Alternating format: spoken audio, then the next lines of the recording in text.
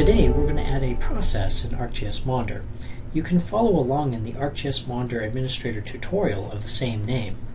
We'll start by selecting the process counter type in the tree, right-clicking and selecting the Add button. Notice a process counter has been added. We'll select it and select the host of the target machine where the process is running. Next we'll click the Query Host for Process List button. This will list all of the processes currently running on that machine. Because this machine has ArcGIS Server running on it, we'll be selecting the ArcSoc process for observations every one minute.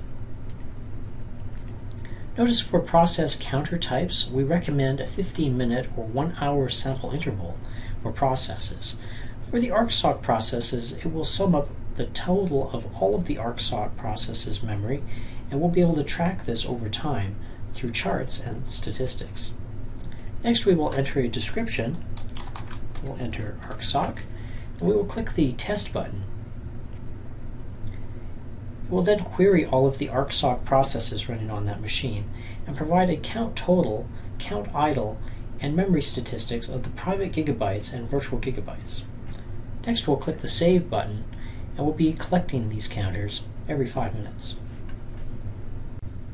After the sample interval has passed, we'll be able to log in to the ArcGIS Monitor server page and go to the Categories Infrastructure report. This report will have counters for the process that we selected for monitoring.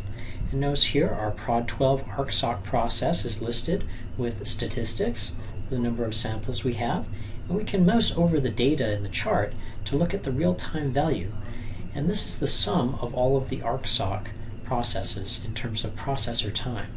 We can also look at the count of active or idle processes and look at data over different time periods. Thanks for watching.